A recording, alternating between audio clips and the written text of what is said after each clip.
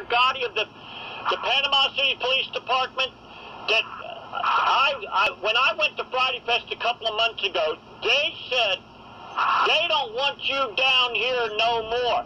I haven't done anything. I haven't broken any laws. I had political debates with the people when Donald Trump, you know, uh, was down there.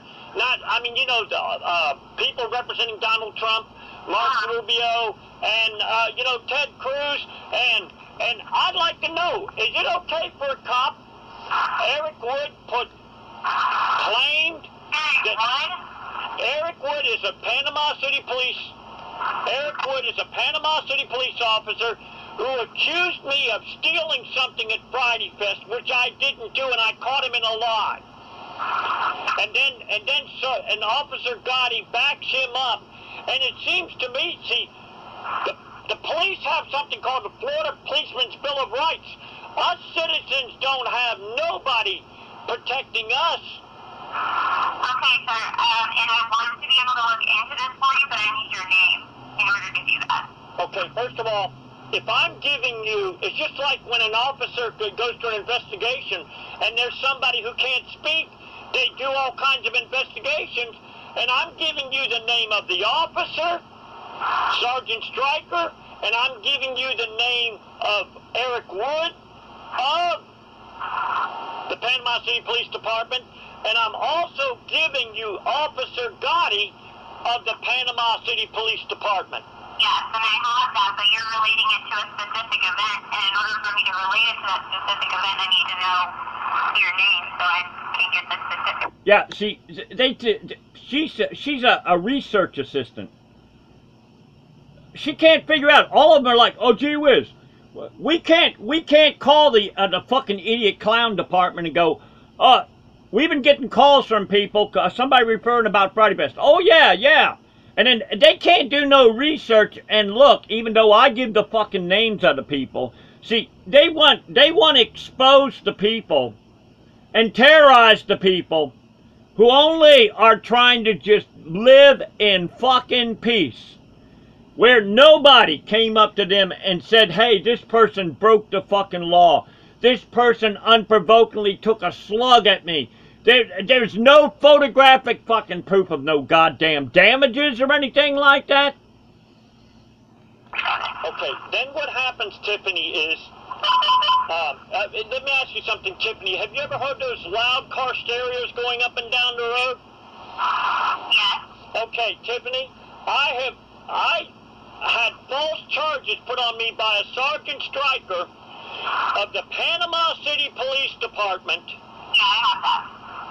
And it seems to me like, Tiffany, they make it next to impossible for somebody to turn in dirty cops. Have you spoken to internal affairs at the Panama City Police Department? I, okay, here, I, here I've to a Lieutenant Morris of the Panama City Police Department. I tried talking to a Deputy Chief Clayton of the Panama City Police Department. I tried talking to a Lieutenant Nelson of the Bay County Sheriff's Department. I, I called Scott Irvin's office, Police Chief Scott Irvin's office. I talked to a Laura Olson, and it's like everybody gives me a runaround. Teresa England is the secretary for uh, police, uh, Bay County Sheriff Frank McKeithen.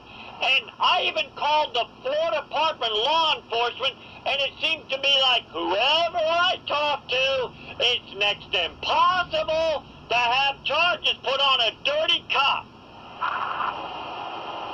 Okay. Now I'm giving you, when you could talk to Lieutenant Morris of the Panama City Police Department. He, he, I went to Friday Fest down there, and I played guitar down there, and, and yeah, I get in lively political debates. But is that a reason to take and say that I'm going to be arrested if I go to a Friday Fest because all I'm doing down there is doing active political debates? Is that arrestable offense? Offense? Okay, in order for me to help you out here, you know, or direct you exactly where you need to go, I do need your name and your number, though. All you got to do is call, talk to Lieutenant Morris of the Panama City Police Department. He is well See, the reason why they want my number, then they can take and they can pass it all around. And they they got caller ID, and then anytime I call them, they probably put a great big motherfucking sign up. Do not call this, do, do not answer this fucking number. Hang up on this motherfucker, because we can't figure out no way to shake him. See, these these motherfuckers, they live lives of where they are they they are they live a dark life. They live a life of conniving and everything like that. And so when it when it comes to somebody who does not live their life as a fucking conniver, as a false a person that puts false claims on people, that tries to get along with their fellow man, they can't fucking handle it.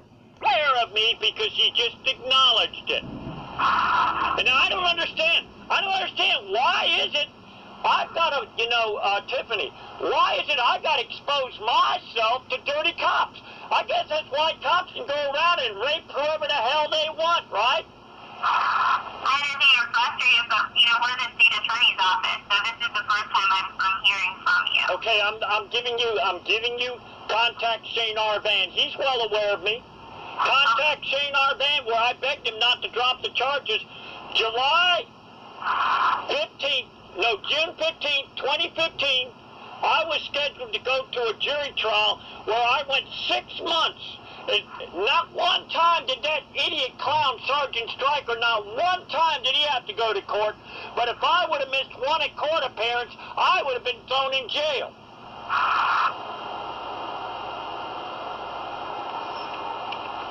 Now I can't understand, Tiffany. I can't understand why they make it so hard. I want, I want uh, Eric Wood of the Panama City Police Department arrested. I want Gotti arrested for criminal conspiracy, and I want Sergeant Stryker arrested too right now, as of May 3rd, 2016. I understand you want something done. That's why I'm asking you for your contact information. I'm giving you contact him, contact, contact Lieutenant Morris of the Panama City Police Department. He knows what's going on. He, Okay, sir, I will do that. He's, uh, Tiffany, Yes, sir. Tiffany, it's like this. And I am not for any kind of rape. Okay, what about that, that cop that was, uh, Oklahoma cop that was raping young women? Raping because he knew that they had criminal offenses. Okay, I'm being raped of my rights. I don't know why. I'm not declared the victim. I am a victim of dirty cops. I'm does somebody have to be raped before anybody's declared a victim? Uh, yes, I have been raped of my rights. I want, I want Eric Wood of the Panama City Police Department arrested. Criminal conspiracy under 838 of the Florida statutes. To violate his public servant oath under 876 of the Florida statutes. He did perjury under 837 of the Florida statutes. Why don't you do this? I got my proof right now. Go to Jim Bikeman, Friday Fest Cop Crimes. Go on YouTube right there and you'll see where you have enough to arrest them people right now. Okay, I'll, I'll look at that. How long have you been with the state's attorney's office, Tiffany? Altogether, Yeah. seven and a half years. Can I get your last name again, please? So I can write it down. Sure. R-O-Y-S-T-O-N. R-O-Y-S-E-S-E-O-N. Oyston. What is it now? R-O-Y-S-T-O-N. I'm gonna tell you something, Tiffany. You know you are the most professional that I've run across so far. I have tried talking to so many people, just like these super loud car stereos. Did you know under 3015 of the Florida statutes that it's the duty of Frank McKeithen, holier than thou, claims he's a Christian in God we trust, but he has allowed these boom cars to go up and down the road for years and years and years. Idiot clown Scott Irvin has allowed these boom cars to go up and down the road. I know exactly what's going on. The boom cars are irritation devices, and then they can throw more people in jail. Now, why, under 6005 of Florida statutes, it's the duty of the state's attorney, Glenn Hess, to arrest every one of these boom cars that are going up and down the road. Why hasn't anything been done? I'll add that to your inquiries that I have going here. I am writing this down just so you know, okay? Well, I'm going to tell you something, Tiffany. Yes, sir. I hope you don't get in trouble for this, but I've never run across anybody that was as professional as you. Now, I appreciate that, sir. well, let's put it this way, Tiffany. I know about Title IX that gave women the rights to be able to be able to go anywhere in a corporation. But it seems to me that there are very few women that even think about the rights of other people. And I'd like to include you as one that did. Well, thank you, sir.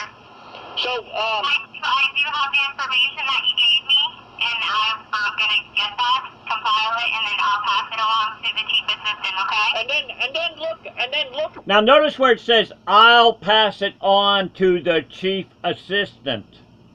It's always, I can't do anything, but I'll pass it along. Fuck you. Fuck you and your problems. I'll fucking pass it on. And the chief assistant is the fucking trash basket. They got on there on their fucking baskets. Oh, this is the chief assistant, whoever the fuck that is. the YouTube video of where when I was down at Friday Fest. See, I played guitar. Okay, I am. I've I've actually had uh, one police officer, the Panama City Police Department, give me a guitar, but I'm not going to mention his name because the thing is, this is I don't want him to be in harm's way. I had another officer teach me under the Double Eagle. There are cops that know that I am a good, harmless person, that I'm having these charges put at me. In other words, Lieutenant Moore said, We've given you a trespass warning, an unlawful trespass warning, because I did not do anything. As a matter of fact, do you think it's right that a cop could say, look here, if I catch you at this grocery store, I'm going to arrest you, I'm putting a trespass warning on you? They could literally do this all over town. Cop even say that I ride a bicycle, okay? I had one cop say to me a couple of months ago when I was riding down the road on 23rd Street that if I didn't get up on the sidewalk, I was going to be arrested. And then I tried to get the cops of the Panama City Police Department because I know that they got GPS devices in their vehicles. I gave the